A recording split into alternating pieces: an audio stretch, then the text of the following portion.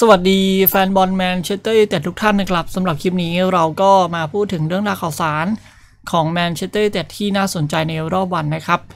ก่อนที่จะไปข้อมูลกันแบบเต็มครับ ก็ฝากกันด้วยครับ ในเรื่องของ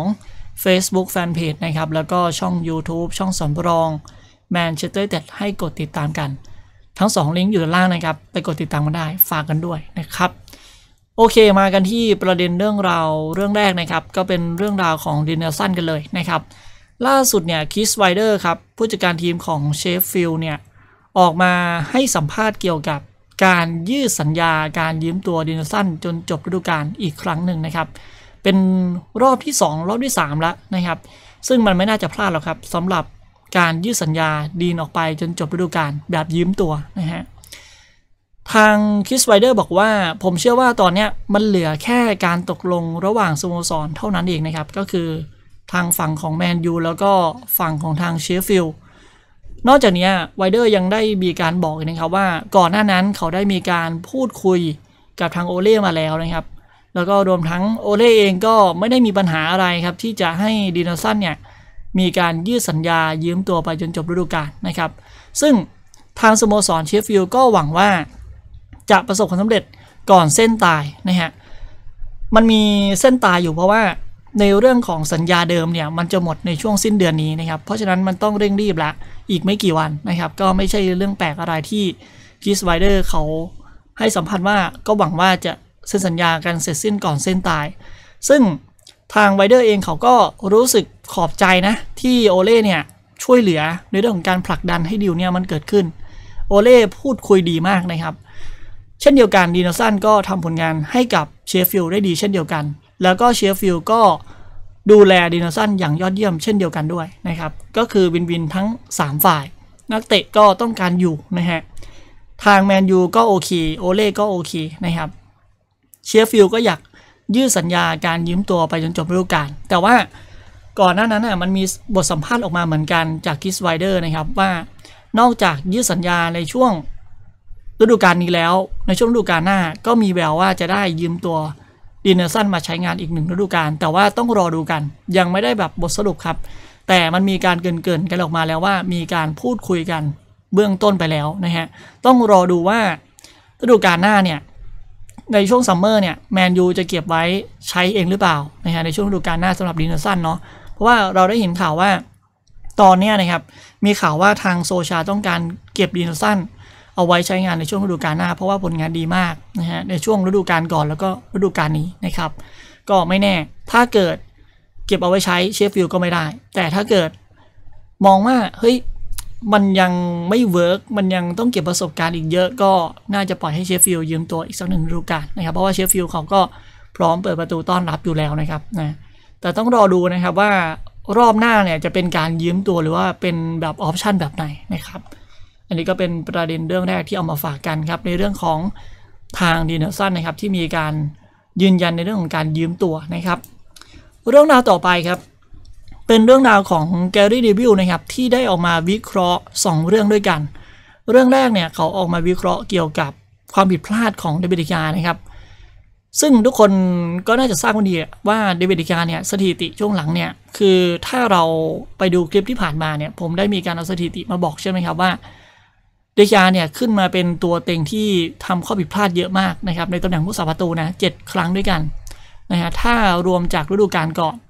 ร่วมกับแบร์นด์เลโนแล้วก็จอร์แดนพิคฟอร์ดด้วยนะครับ ซึ่งทางเนวิลล์เนี่ยเขาได้มาหาสาเหตุหลักนะครับ ว่าทำไมเดวิดเดเคอาฟอร์มไม่เหนียวเหมือนเมื่อก่อนนะฮะที่แบบเมื่อก่อนเนี่ยโอ้โหยิงยังไงก็ save ได้หมด แต่ว่าทุกวันนี้ลูกง่ายๆ ก็แป๊กก็มีเหมือนกันนะครับแล้วก็เนวิลล์มองว่ามันเป็นเพราะแฟนบอลนะครับ แฟนบอลเนี่ยเอาแต่ด่าใส่เขาอย่างหนักนะครับ ในช่วงตลอดหลายปีที่ผ่านมานะครับ จนทำให้สภาพจิตใจของเดวิดเดเคอาเนี่ยเปลี่ยนไป แล้วก็พวกเราได้เห็นกันอย่างชัดเจนว่าเหมือนกับไม่ค่อยมีความมั่นใจแล้วสำหรับเดวิดเดเคอาในบางจังหวะนะครับ นอกจากนี้เนวิลล์ยังได้มีการกระตุ้นครับให้เดวิดเดเคอาเนี่ยกลับมาเน้นในเรื่องของพื้นฐานครับ แล้วก็พร้อมทั้งมีการกระตุ้นให้เดวิดเดเคอาเนี่ยกลับมารื้อฟอร์มเก่งกลับมาให้ได้โดยเร็วที่สุดอีกด้วยนะครับ ซึ่งสิ่งที่แกรี่เนวิลล์เขาออกมากระตุ้นว่าให้เดวิดการเนี่ยกลับมาเน้นในเรื่องของพื้นฐานเนี่ยก็คือหมายถึงว่า คือตอนนี้มันทำอะไรมากไม่ได้ครับความผิดพลาดมันก็ผิดไปนะฮะแต่ว่าณปัจจุบันในเรื่องของวันถัดไปเนี่ยคุณต้องซ้อมให้หนักยิ่งขึ้น ซ้อมให้หนักยิ่งขึ้นต่อวันเข้าไปแบบเรื่อยๆนะครับแล้วก็พยายามเค้นฟอร์มตัวเองที่เป็นเหมือนเดิมกลับมาให้ได้ นั่นคือวิธีการแก้ไขนะครับ คนเรามันย้อนเวลาไม่ได้ครับนะเพราะฉะนั้นเราก็ต้องแก้ไขในเรื่องของปัจจุบันไปนะครับ หรือว่าในอนาคตไปนะครับ สิ่งที่ดีที่สุดก็อย่างที่เนวิลบอกครับก็คือการฝึกซ้อมให้หนักยิ่งขึ้น แล้วก็พยายามที่จะเป็นตัวของตัวเองนะครับ แล้วก็พยายามที่จะรื้อฟอร์มเก่าๆกลับมาอะไรประมาณนั้นนะครับอีกเรื่องหนึ่งที่เนวิลเนี่ยได้วิเคราะห์นะครับก็คือเรื่องของทางพอกบานะครับเนวิลบอกว่าพอพอกบาเนี่ยไม่ควรที่จะปล่อยออกจากทีมครับ เพราะว่าในเรื่องของความสามารถในเรื่องของการสร้างสรรค์เกมเนี่ยเราได้เห็นอย่างชัดเจนว่า คือนักเตะเนี่ยสามารถเป็นตัวสำคัญของทีมได้นะครับ แล้วก็ดูจากปัจจุบันเนี่ยนักเตะก็ยังมีความมุ่งมั่นที่จะประสบความสำเร็จในทินโอเทฟฟอร์ดต่อไปนะนะครับในช่วงฤดูกาลนี้หรือว่าในช่วงอนาคต แล้วก็นอกจากนี้แกเรเนวิลเนี่ยเขายังได้ให้เหตุผลออกมาอยู่นะครับว่าสาเหตุที่เขาเนี่ยอยากให้บ็อกบาอยู่กับทีมต่อไป เพราะว่าเศรษฐกิจแบบนี้นะครับการที่แมนยูจะไปทุ่มซื้อนักเตะ ในราคา 80 จนถึง 100 ล้านปอนด์เนี่ยที่ซื้อเข้ามาใหม่เนี่ยมันก็เป็นเรื่องยาก เพราะฉะนั้นเราไม่ต้องซื้อครับ เราแค่เน้นเก็บบล็อกบาเอาไว้อยู่กับทีม แล้วก็ไปหาซื้อตำแหน่งอื่นๆ หรือว่าราคาถูกกว่านั้นมันน่าจะคุ้มค่ามากกว่านะครับเหมือนกับมีของดีอยู่ในทีมแล้ว เพียงแต่รั้งให้นักเตะอยู่กับทีมต่อไปเท่านั้นเองนะครับไม่ต้องแบบว่าไปเดือดร้อนไปเหนื่อยในเรื่องของการปล่อยบล็อกบาแล้วก็ต้องไปทุ่มซื้อราคา นักเตะที่มีราคาสูงๆเข้ามา แล้วก็ไปเปลืองเวลากับการค้นหานักเตะรายใหม่เข้ามา เพื่อทดแทนนะครับ นั่นคือมุมมองของทางแกเรนเนวิลที่เอามาฝากกันนะครับ โอเค นี่คือบทวิเคราะห์ที่น่าสนใจ 2 เรื่องนะครับนะแฟนพีคิดเห็นอย่างไร คิดเห็นแบบเดียวกับแกเรนเนวิลหรือเปล่านะครับ หรือว่าอะไรยังไงก็คอมเมนต์กันเข้ามาได้ แล้วก็เรื่องราวต่อไปครับ เป็นเรื่องราวของเจดอนซานโชครับ คือก่อนเกมที่ดอทมุนจะทำการแข่งขันล่าสุดเนี่ยซานโชโดนจับ เป็นตัวสำรอง แล้วก็ทำให้หลาย ๆ สื่อเนี่ยมีการเล่นข่าวกสิบเรื่องนี้ขึ้นมาครับว่าสาเหตุสำคัญที่ซานโชเนี่ยโดนจับดองข้างสนามเนี่ยเพราะว่าซานโชเนี่ยอาจจะคิดในเรื่องของการย้ายไปแมนเชสเตอร์ยูไนเต็ดแล้วนะครับ ใจแบบไม่อยู่กับเนื้อกับตัวนะฮะ ใจอยากไปแมนยูแบบเต็มที่แล้วนะครับ หลังจากจบฤดูกาลก็เลยทำให้นั่นคือเหตุผลที่ดอร์ทมุนด์ drop ไว้ นั่นคือข่าว gossip ออกมาก่อนหน้านั้นนะครับ แต่ทีนี้เรามาดูความจริงกันดีกว่านะครับ ล่าสุดเนี่ยมิชาเอลซอร์คครับ director of football ของทางโบรุสเซียดอร์ทมุนด์น่ะออกมาปฏิเสธข่าวลือดังกล่าวนะครับว่ามันไม่ใช่ความจริงครับ จริง ๆ แล้วอะมันเป็นในเรื่องของ tactic มากกว่านะครับ เพราะว่าที่ผ่านมาจาดอนซานโช่ แล้วก็นักเตะหลายๆคนเนี่ยลงเล่นมาตลอด 4 เกมนัดหลังนะครับ มันก็อาจจะมีในเรื่องของอาการบาดเจ็บเข้ามารบกวน คือมันไม่ได้เกี่ยวกับในเรื่องของซานโชมี เรื่องของความคิดที่อยากย้ายไปแมนยูเรื่องนั้นมันไม่ได้เกี่ยวนะครับ เพียงแต่ว่ามันเป็นแท็กติกของทางสโมสรเท่านั้นเองว่าต้องป้องกันนักเตะได้รับบาดเจ็บด้วยนะครับ มันจะมาทำการแข่งขันแบบต่อเนื่องแบบเนี้ยทีทีแบบเนี้ยมันไม่ได้นะครับ มันก็ต้องมีการโรเตชันกันบ้าง แล้วก็นักเตะมันก็เหนื่อยเป็นนะครับ มันไม่ใช่หุ่นยนต์นะนะฮะนั่นคือสิ่งที่มิเชลซองเนี่ยให้สัมภาษณ์ชัดเจนนะครับว่าซานโช่ยังโอเคกับทางดอร์ทมุนด์นะครับ ไม่ได้แบบว่า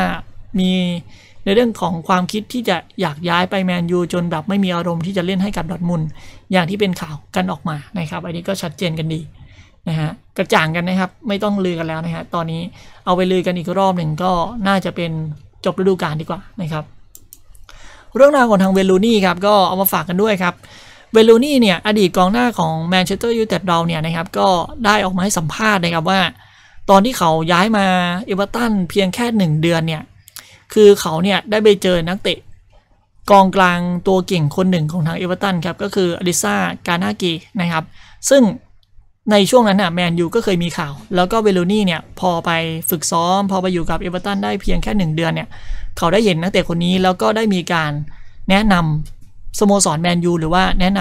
ำคนภายในสโมสรแมนยูว่าควรที่จะซื้อทางเกเนี่ยเข้าไปเสริมกองกลางนะ เพราะว่าเขาเป็นนักเตะที่เหมาะสมกับทางแมนยูมาก นะฮะ แต่ว่าผลสุดท้ายคือกานาเกก็ไปเปเชซึ่งเบลูนี่เขาก็ไม่แปลกใจครับ เพราะว่านักเตะคนนี้มีของแล้วก็เล่นได้ดีนะครับ ถ้าจำไม่ได้ดีเนี่ย ตอนที่เราจะเสียอันเดร่านะครับ เรามีข่าวเชื่อมโยงกับทางอลิซากานาเกด้วยนะครับ เพราะว่าสไตล์เนี่ยคือมันคล้ายๆกันแบบว่าเป็นนักเตะแบบวิ่งขึ้นวิ่งลงคล้ายๆกันนะครับ ก็ มีข่าวอยู่พักหนึ่งนะครับ แต่ว่าผลสุดท้ายคือเราก็ไม่ได้จริงจัง แล้วซึ่งตอนนั้นครับผมจำได้เลยนะว่าสกายปอร์ตเล่นมาด้วยนะครับ เล่นข่าวมาด้วยว่าแมนยูให้ความสนใจ แต่ว่าก็อย่างว่ากันไปครับ มันเป็นข่าวสั้นๆอะ มันไม่ใช่ข่าวแบบว่าแมนยูจริงจังมากอะไร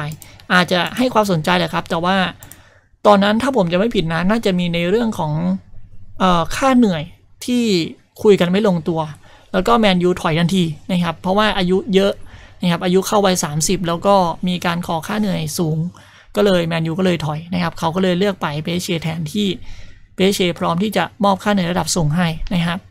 อะก็โอเคประมาณนี้ ส่วนเรื่องราวต่อไปครับเป็นเรื่องราวของฟินสตันฟอร์จูนนะครับก็ล่าสุดเนี่ยทางอดีตนักเตะของทางแมนยูเรารายนี้เนี่ยก็ออกมาเปิดเผยนะครับว่าตนเองเนี่ยมีความฝันครับที่จะได้ขึ้นไปเป็นกุนซือ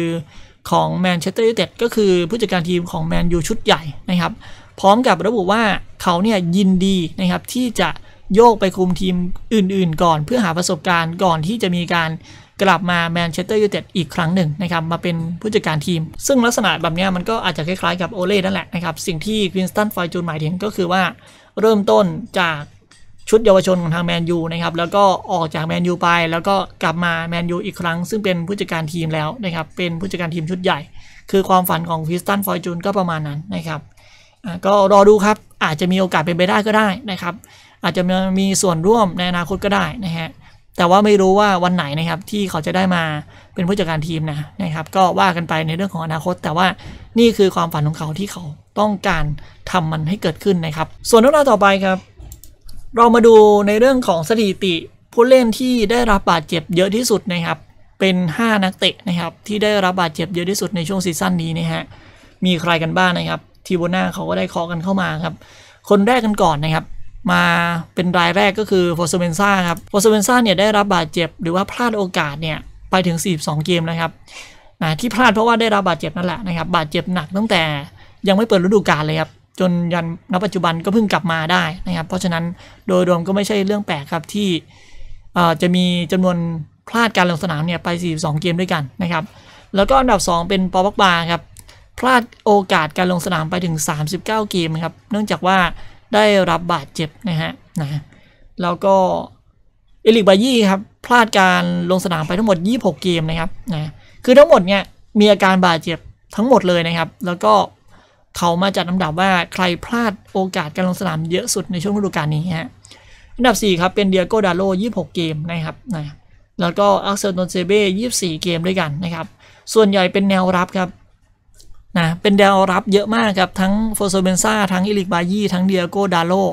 อักเซล ตวนเซเบ้ซึ่งมันก็ไม่ใช่เรื่องแปลก อย่างที่ผมพูดมาก่อนหน้านั้นครับ ว่าทำไมแมนยูมักจะมีข่าวเชื่อมโยงกับตำแหน่งเซนเตอร์ เพราะนี่เลยครับ คือแนวรับ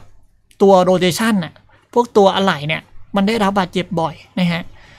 มันก็เลยต้องมีการมองหาตำแหน่งเซนเตอร์เข้ามาเพิ่มเติมนะฮะที่แบบตัวที่มันฟิตกว่านี้นะฮะนะนี่ก็คือการ เคาะสถิติกันออกมานะครับ ส่วนเรื่องราวต่อไปครับเป็นเรื่องราวที่มีการเปิดเผยจากผู้เชี่ยวชาญทางด้านสุขภาพนะครับ ซึ่งเป็นแพทย์ชาวอิตาลีครับชื่อว่ามาติโอบาเซตินะฮะคือนายแพทย์คนนี้นะครับบาเซติคนนี้เขาออกมาพูดถึงโควิด -19 ในช่วงนี้ครับบาเซติเนี่ยบอกว่าตอนนี้โควิด -19 เนี่ยในช่วง 2-3 เดือนที่ผ่านมาเนี่ยครับมันรุนแรงมาก แต่ว่าณปัจจุบันเนี่ยเหมือนกับโควิด -19 มันเริ่มที่จะ เบาบางลงไปแล้วนะครับทำให้พวกกิจกรรมต่างๆเนี่ยมันก็น่าจะทำกันแบบคล่องขึ้น อย่างเช่น ในเรื่องของการเตะบอลหรือว่ากิจกรรมที่มันมีการชุมนุมกันเนี่ยมันก็อาจจะไม่สุ่มเสี่ยงอีกต่อไปแล้วนะครับ และนั่นคือการยืนยันจากนายแพทย์ท่านนี้นะครับ แล้วก็นายแพทย์ท่านนี้ประจำอยู่ที่โรงพยาบาลซานมาติโนนะครับที่เมืองเจนัวในอิตาลีครับ เขาให้สัมภาษณ์ผ่านเดอะเทเลกราฟนะฮะสื่อใหญ่ของอังกฤษครับว่า ตอนนี้มันเบาบางลงแล้วนะครับ ไม่ต้องไปกลัวอะไรมากมายนะครับ ถ้าเป็นเมื่อ 2-3 เดือนก่อนเนี่ยนะฮะมันรุนแรงมากครับ ตอนนี้มันเหมือนแบบแมวไปแล้วนะครับ จากเสือกลายเป็นแมวไปแล้วนะฮะอะโอเค นี่คือการเปรียบเทียบของนายแพทย์ท่านนี้ครับ ส่วนเรื่องราวต่อไปครับนี่ฮะเรามาดูการผ่านบอลสวยๆของทางบรูโน่ครับตามภาพนะครับที่ผมพูดเอาไว้หลังเกมนะครับ มันเป็นช็อตช็อตหนึ่งที่ผมชอบมากในเกมการแข่งขัน ระหว่างแมนเชสเตอร์ยูไนเต็ดพบกับทอตแนมสเปอร์นะครับจะว่าไปแล้วถ้าเกิดเรามาดูภาพย้อนหลังเนี่ยเกมนั้นน่ะนักเตะเราผ่านบอลสวยๆเยอะมากนะนะฮะโดยเฉพาะป็อกบากับบรูโน่เนี่ยให้เห็นบ่อยครั้งเหมือนกันนะครับแล้วก็มาดูกันครับเนี่ยจังหวะการผ่านบอลทะลุช่องไปเลยครับแหวกผู้เล่นของทางสเปอร์นะฮะเนี่ยผู้เล่นสเปอร์สี่คนด้วยกันนะครับยืนมองอยู่เนี่ยแล้วก็ผ่านมาครับโดยที่แบบไม่ได้แบบเตรียมตัวอะไรมากมายเลยครับแล้วก็ผ่านมาให้สก็อตต์ แม็คโทมิเนย์ครับ จ่ายบอลได้ดีเลยฮะ สวยมากครับ อืม อะโอเคนะครับ จบกันไปเรื่องนี้นะครับ แล้วก็เรื่องราวต่อไปครับ เป็นเรื่องราวดีๆ ของสโมสรเรานะครับ มีการเปิดเผยจาก The Athletic นะฮะ ทางสื่ออังกฤษสื่อเนี่ยเขาบอกว่า ทางสโมสรแมนเชสเตอร์ยูไนเต็ดเนี่ยได้มีการส่งพัสดุนะครับไปให้ทีมงานกว่าประมาณ 800 กว่าคนนะครับที่ทำงานร่วมกับทางสโมสรนะครับที่มีส่วนเกี่ยวข้องนะทุกคนเลยนะฮะประมาณ 800 กว่าคนได้นะฮะคือเป็นเป็นการตอบแทนนะครับที่ทำงานอย่างหนักในช่วงหลายเดือนที่ผ่านมา เรื่องของการแก้ไขโควิด -19 เรื่องของการวางมาตรการในสนามหรือว่าช่วยในเรื่องของชุมชนต่างๆ ที่แบบเกี่ยวข้องกับสโมสรเนี่ยทางสโมสรแมนยูหรือว่าบอร์ดระดับสูงเนี่ยมีการส่งของไปให้เลยครับ ส่งของแบบว่า ของรางวัลแล้วกัน หรือว่าของตอบแทน พูดอย่างนี้ดีกว่าของตอบแทนนะครับ ซึ่งในนั้นจะมีแมสก์ของ Adidas นะครับที่เป็นผู้สนับสนุนหลักอยู่ด้วยนะฮะแล้วก็จะมีพวกสมุดโน้ตเล็กๆนะครับนะเป็นของตอบแทนกันไป แล้วก็รวมทั้งช็อกโกแลต ต่างๆนะครับ เป็นพวกขนมหวานที่เขามอบให้แล้วก็ยังมีในเรื่องของบัตรอวยพรของไบรอัน ร็อบสันซึ่งเป็นตำนานของทางสโมสรอีกด้วยนะครับ รวมทั้งในเรื่องของหนังสือที่มันเป็นประโยชน์นะครับ ก็เอาไปมอบให้กับพนักงานทุกคนด้วยเจ้าหน้าที่ทุกคนด้วย แล้วก็รวมทั้งยังมีข้อความจากเอ็ดวูดเวิร์ดด้วยนะฮะที่ให้กำลังใจนะครับพนักงานทุกคนด้วยนะครับนะเป็นของตอบแทนกันนะครับที่สู้กันมานะครับ จนณปัจจุบันนะฮะส่วนประเด็นสุดท้ายครับมีการเปิดเผยจาก คิกเกอร์นะครับสื่อดังของเยอรมันนะฮะเขาบอกว่าตอนนี้คือจาดอนซานโชเนี่ยกำลังรอข้อเสนอจากแมนเชสเตอร์ยูไนเต็ดอยู่นะครับ แล้วก็นักเตะเนี่ยต้องการเข้าร่วมแมนเชสเตอร์ยูไนเต็ดอย่างใจจดใจจ่อแล้วด้วยนะครับนะแต่ว่าตอนนี้ก็ต้องเข้าใจครับว่าสถานการณ์โควิด -19 ครับในเรื่องของการไปยื่นซื้อนักเตะในราคาแบบ 90 ล้านปอนด์ก็ต้องคิดเยอะหน่อยนะครับ เพราะว่าสถานการณ์เงินตอนนี้มันก็ไม่ค่อยคล่องจริงนะครับ ก็ต้อง ติดตามกันดูต่อไปนะครับว่าแมนยูจะยื่นตอนไหนนะครับซึ่งนักเตะก็พร้อมที่จะออกแล้วด้วยนะฮะจากหลายสื่อในเยอรมัน จากกูรูดัง ๆ ก็เล่นเป็นเสียงเดียวกันว่าซานโชพร้อมย้ายมาพิมพ์เด็กอังกฤษนะครับโอเคครับก็สำหรับคลิปนี้มีเพียงเท่านี้แล้วกันนะครับ เอาไว้เจอกันคลิปหน้า